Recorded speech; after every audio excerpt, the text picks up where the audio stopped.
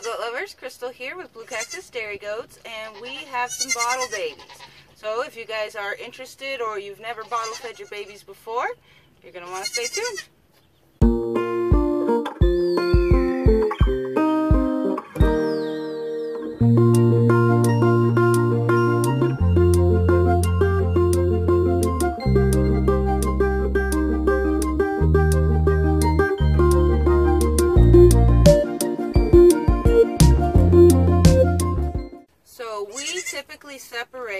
Around two days old. Sometimes it'll go a little bit further just depending on the situation. Um, but these little guys here are four, day, four days old and we separate early. We have separated at all different um, stages of, of age. However, the easiest for the dam and the kid is is earlier the better. So that's what we have done. Um, now the older they are, the longer they're on their moms, then the more attached they're going to get. And I know that seems weird um, because thinking out of our human brains, but for them, for the goats, for the livestock, it is a much easier transition if you separate earlier. So the nipple we mainly use is um, actually nipples that go on a lamb bar and you just get a soda bottle or a water bottle and it just fits right on the top of that. You see this little girl hungry? um, so it just fits right on top. It's very easy to use. Uh, you might also uh, typically see another one that has, it's the yellow cap and it has the red nipple. Uh, we do use those from time to time also. So, this is the first time these guys, um, today's the first day that they have been bottle fed. So, Look. You just, you might have to slightly open their mouth a little and just very carefully hold that bottle there. And this girl's doing really good. Another reason um, separating early is a good idea because they take to the bottle so much easier. If they're two weeks, three weeks, four weeks old, you might not, you may never get them on the bottle. They're just too familiar with their mom's teat, with the udder. But it's a lot easier to train them on the bottle if you separate early. And this girl's doing awesome.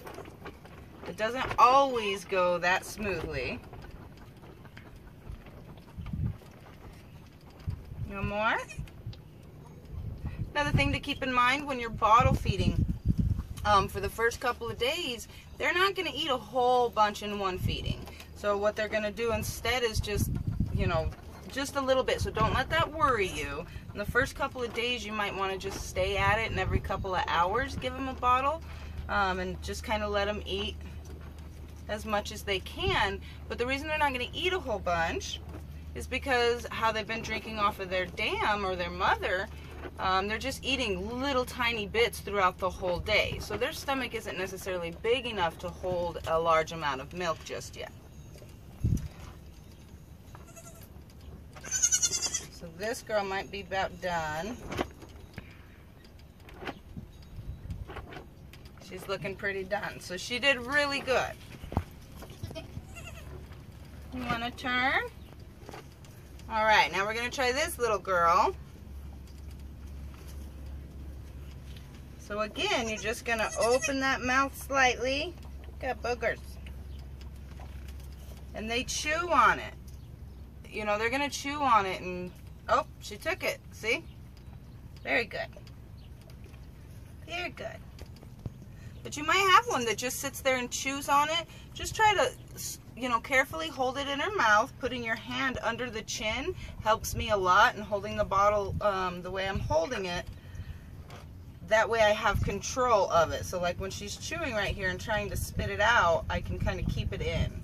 Because, again, they're not used to it. This isn't like their mom's nipple.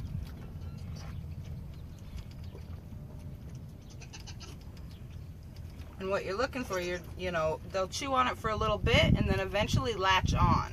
This might take even, with some of the kids, it may take four or five times of attempting it um, before they actually will.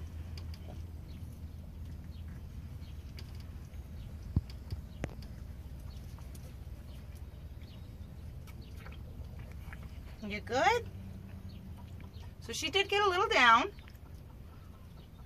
Again, I'm not worried about that. They're not going to eat a whole bunch at first. Oh, yes, girl. Now we got this one. What do you think? You hungry?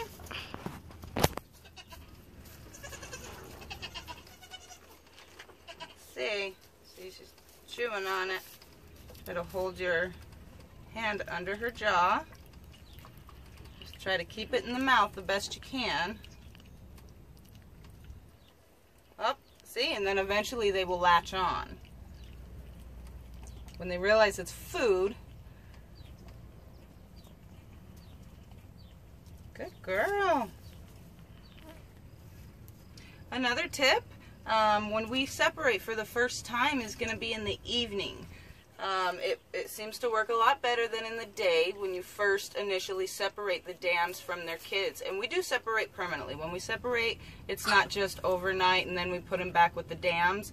Um, sometimes you'll have trouble even getting them on the bottle if that is how you um, do it. But we will separate at night and then um, in the morning they went they went the evening without eating and in the morning and it doesn't hurt them but in the morning they're hungry. So again, it, it, you know, just another tip, it helps a little more getting them on that bottle because they are hungry. So if you're trying to, if you just separated 30 minutes ago and then try to bottle feed, it might not be enough time for them to care too much about the bottle to actually latch on and take that. Huh. All right, let's get the other ones. This little girl's pretty stubborn, so we'll see how she does.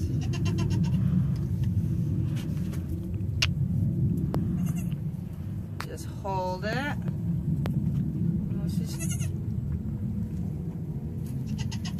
Oh, almost.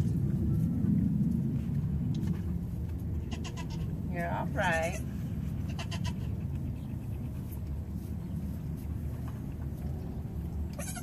Oh, there she goes. There she goes.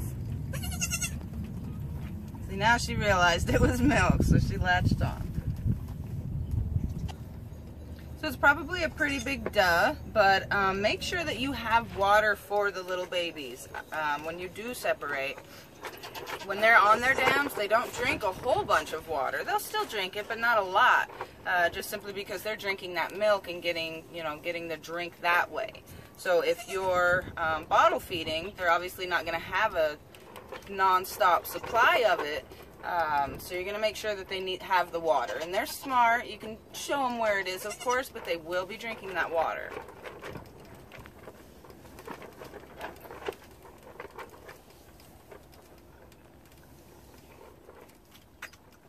Oh. Oh, goodness. Are you good?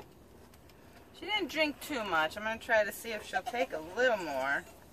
But at least I did get her to latch on. So at the bare minimum, the next milking will be a little easier. The next feeding, sorry.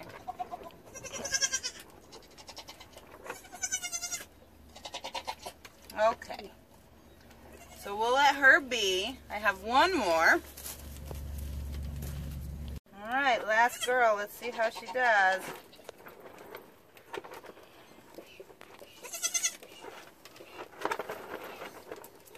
Got it? You got it? Got excited for a second. Oh, there she goes. Oh, good job.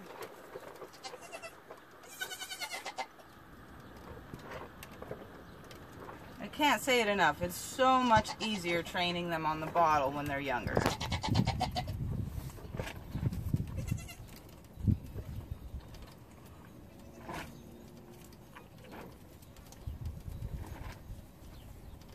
Give her a second. Good job.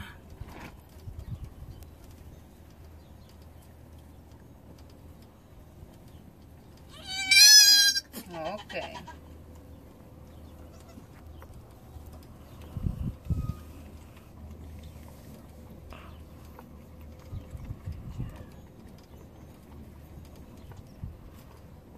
Good job.